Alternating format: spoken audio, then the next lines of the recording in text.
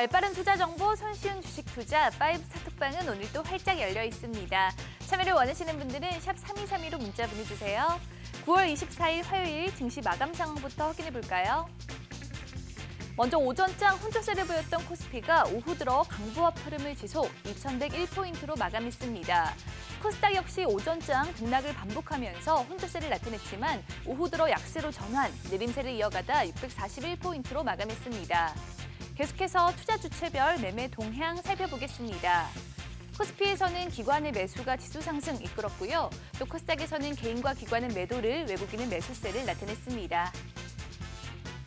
지금부터 변동성 장세에서 수익을 안겨줄 파이브스타의 요일별 맞춤 전략 전해드리겠습니다. 매주 화요일은 화끈한 수익률을 자랑하는 분이죠.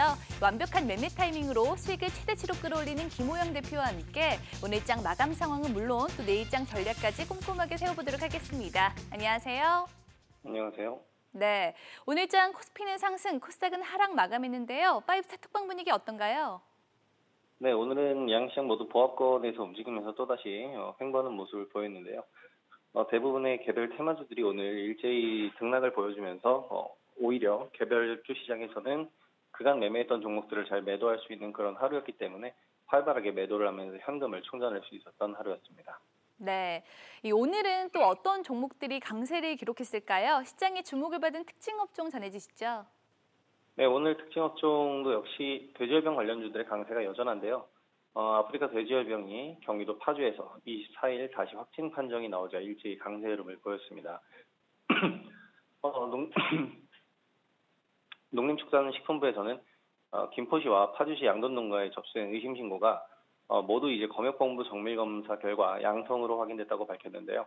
지난 17일 국내에서 첫 확진 이후에 네 번째 발병으로 어, 지금 뚜렷한 백신이 있는 상황도 아니고 어, 그렇다고 어떤 뚜렷한 백, 그 방역 대책이 있는 것도 아니기 때문에 어, 예전 신종플루라든지 어, 조류독감과 같이 이 돼지 열병 관련주들은 당분간은 이런 강세 흐름을 유지를 할 것으로 보입니다.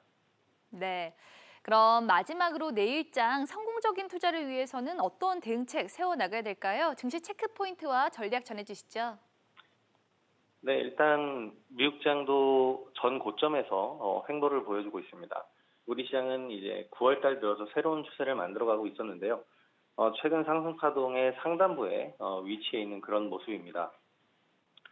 어느덧 이제 3차 파동이 나오면서 어, 하나의 큰 상승 파동을 마무리했다라고 보셔야 되겠는데요. 미국장이 신고가가 나오지 못하고 여기서 조정을 받게 된다면은 어, 한 차례 크게 밀릴 가능성도 있습니다. 일단 미중 무역 협상이 계속해서 난항을 겪고 있고요. 어, 유로존의 경기 침체 우려감이 확산이 되면서 유일한 해결책인 무역 협상 난항과 맞물려서 계속해서 불안감을 요성을 하고 그, 조성을 하고 있기 때문에 어, 각종 악재가 어, 고개를 드는 그런 상황이기 때문에 적극적인 매세에 나서기에는 좀 부담스럽다라고 어, 할수 있는 위치가 되겠고요. 어, 오늘처럼 개별 테마주들이 올라오거나 어, 평소에 보유 중이었던 종목들이 상승을 해준다면 지속적인 현금화를 지속 어, 현금화를 진행을 해주셔야 될 것 같고요. 이 현금화 이후에 어, 악재로 인한 시장 급락이 나왔을 때 베팅할 수 있는 자금으로 활용을 해주셨으면 좋겠습니다. 네. 전화 연결 감사합니다. 김호영 대표의 자세한 투자 전략 및 핵심 종목은 파이브스타 톡방을 통해서도 만나볼 수 있는데요. 샵 3232로 문자 보내주시면 참여 안내 도와드립니다. 그리고 유튜브 채널과 또 카카오톡 플러스 친구를 통해서도 파이브스타의 투자 전략 만나볼 수 있으니까요. SBS CNBC 파이브스타를 검색하시고 다양한 주식 정보 얻어가시길 바랍니다. 든든한 주식 파트너 파이브스타와 함께 언제나 성공 투자하세요.